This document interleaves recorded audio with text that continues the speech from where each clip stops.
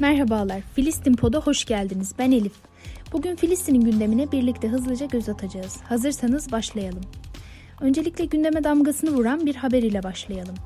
İsrail İnsan Hakları Kuruluşu B'Tselem, İsrail için ilk kez apartheid rejimi, ırkçı ayrımcı devlet tanımını kullandı. Raporda İsrail egemenlik sürdüğü tüm bölgelerde bir halkın başka bir halka üstünlüğü esasına göre hareket ediyor denildi. Raporda İsrail'in yasa dışı Yahudi yerleşim birimi inşasına da değinilerek İsrail'in 1948'den bu yana yeşil hat içindeki Filistinlilerin topraklarının %90'ına el koyarak buralarda Yahudi kent ve beldeleri kurduğu belirtildi. 1967'den bu yana ise Filistinlilerin topraklarında 280'den fazla Yahudi yerleşim birimi inşa ettiği, burada 600 binden fazla Yahudinin yaşadığı vurgulandı. Bir diğer gelişme ise 13 Ekim'de İsrailli mühendislerden oluşan bir ekip Harem-i Şerif'e baskın düzenleyerek İsrail polisi eşliğinde Mescid-i Aksa'da ölçüm yaptı. Bunun üzerine Filistin Dışişleri Bakanlığı açıklamada bulundu. Açıklamada İsrail'in bu eylemlerinin saldırgan ve kışkırtıcı olduğu, Mescid-i Aksa'yı zamansal olarak bölündükten sonra mekansal olarak da bölmeyi hedeflediği belirtildi.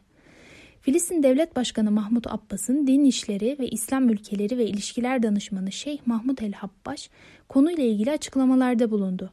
Habbaş da İsrail'in Mescid-i Aksa'nın yönetimine müdahale etmek ve mekan üzerinde emrivaki dayatmak suretiyle Aksa'nın yönetimini Kudüs İslami Vakıflar İdaresi'nin elinden almaya çalıştığını ifade etti. Mescid-i Aksa'yı kontrol altına almaya yönelik bu girişimlerin başarısız olacağını vurguladı. Şunu da hatırlatmakta fayda var.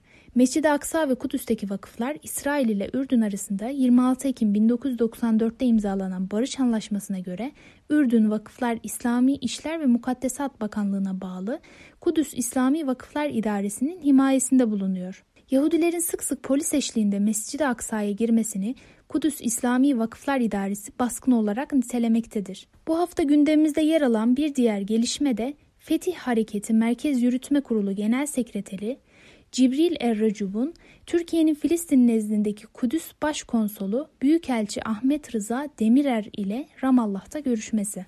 2007'den bu yana İsrail işgali ve ablukası altında Filistin topraklarında faaliyet gösteren iki büyük güç olan Hamas ve Fetih hareketleri arasında siyasi bölünmüşlük bulunmaktaydı.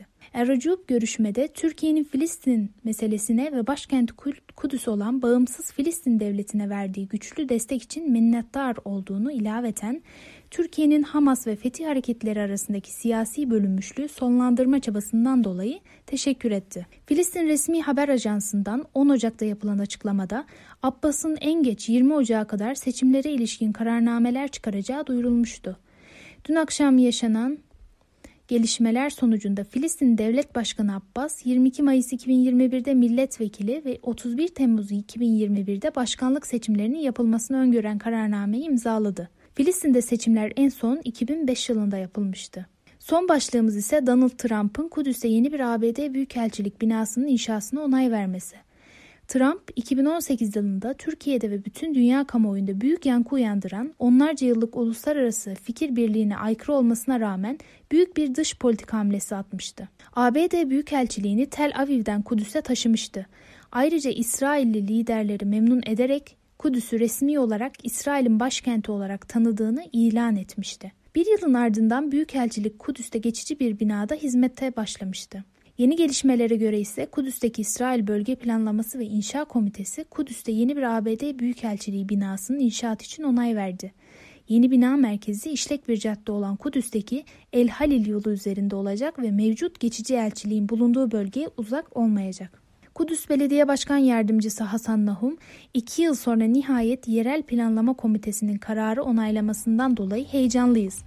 Bunu çok uzun zamandır bekliyorduk ve sonunda onaydan geçtiği için mutluyuz.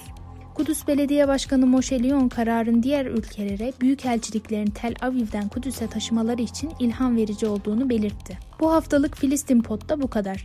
Gelecek hafta görüşmek üzere. Hoşçakalın.